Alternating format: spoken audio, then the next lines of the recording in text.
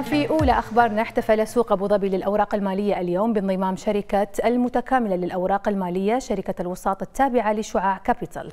لقائمة الشركات التي توفر خدمة البيع على المكشوف الفني في السوق لتكون الشركة الثالثة التي توفر هذه الخدمة في السوق.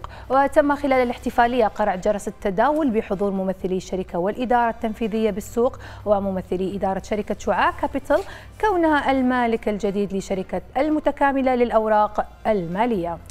وقعت مؤسسة الإمارات لأنظمة التبريد المركزي إمباور اتفاقية مع سيتي لاند للتطوير العقاري وهي الذراع الاستثمارية لمجموعة سيتي لاند لتزويد مشروع سيتي لاند مول الكائن في القرية العالمية بدبي. خدمات بخدمات تبريد المناطق بطاقة إنتاجية تبلغ 14 ألف طن تبريد. ووفقا لبيان صحفي تأتي الاتفاقية لتعكس الإقبال الإيجابي ضمن قطاع العقارات على الاستثمار في مجال الاستدامة البيئية والذي يعد عاملا رئيسيا في تعزيز مسيرة نمو الشركة. ولامست استثمارات إمباور في هذا المشروع 150 مليون درهم حيث سيتم تزويد المشروع بخدمات تبريد المناطق ابتداء من أغسطس 2018 مشاهدينا أكيد راجعين في فقرة أسرة ومجتمع ولكن بعد هذا الفاصل.